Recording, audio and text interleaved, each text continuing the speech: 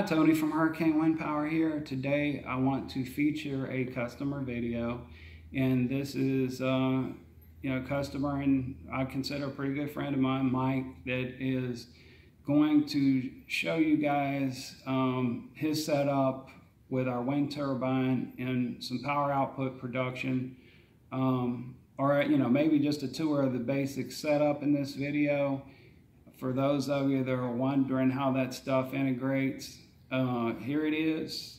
Check it out. Leave the comments below if there's something else you'd like to see. Thank you.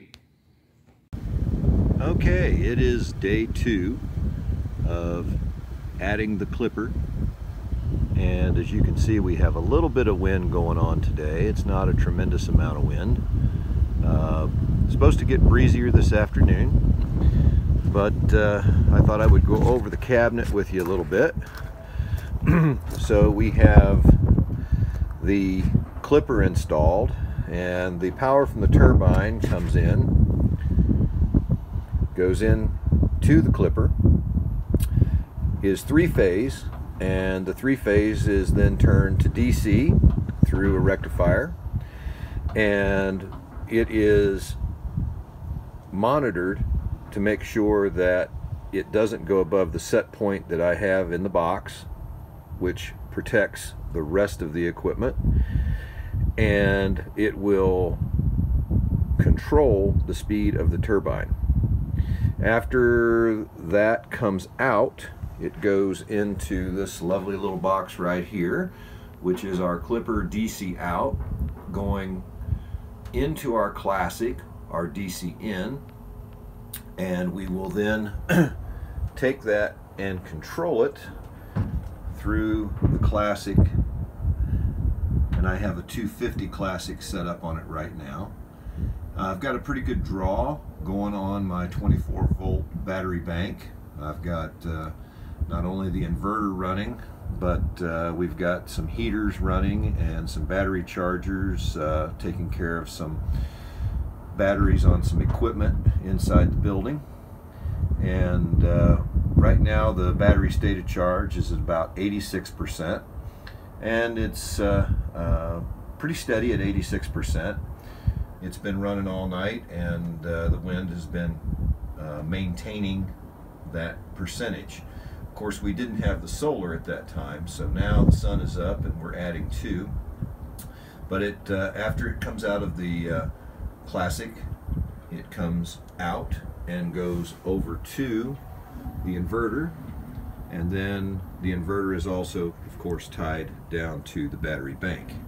I wanted to take the opportunity to show you that now we have the sun coming in so PVN PVN goes into the classic and that's a 200 and we're getting a little bit of sunshine this morning so uh, that is also being augmented into our batteries, comes out of the uh, PV out, and of course does the same track. I wanted to take the opportunity to remove the cover on the clipper.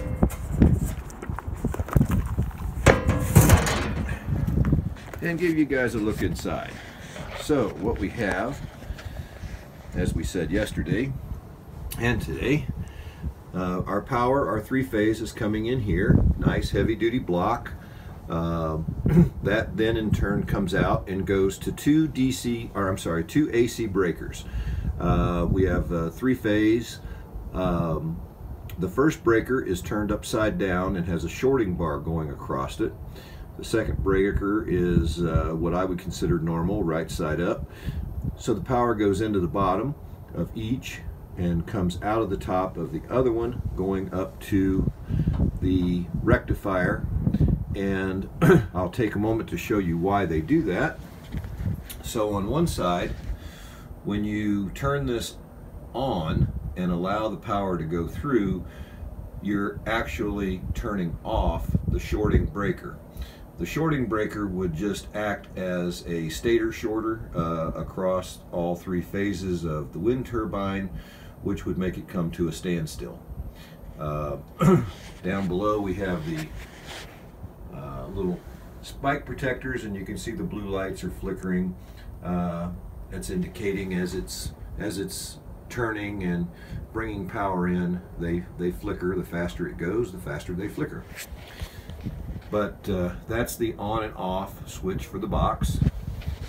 Then it comes up and goes to the three phase, uh, goes to the bridge rectifier where it's converted to DC.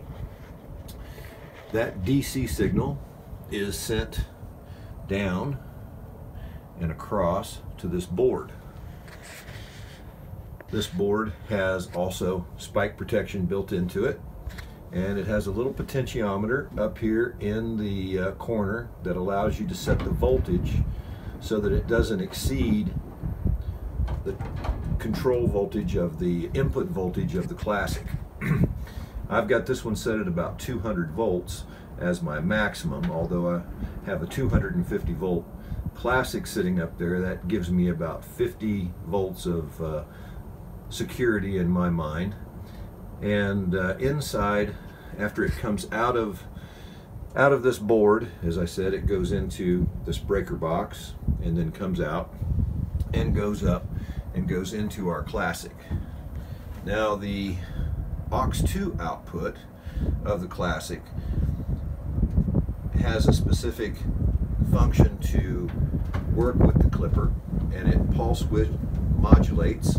So once it once the batteries become full or if the power happens to be a little bit too high what it's going to do is it'll come into this board and it will send a signal up to this nice Teledyne relay that's up here and these resistors which are tied to that relay and you can see the shorting bar going across the bottom of the relay there and as that is pulse width modulated, it will basically uh, short the stator and slow it down.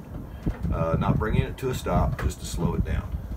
Uh, it's all working very nicely this morning. Uh, the batteries are not fully charged yet, so it's not uh, not doing that. And as you can see, the voltage is not uh, being exceeded. Again, we got a 250 volt classic, and we're only running about uh, 70 to 100 volts occasionally.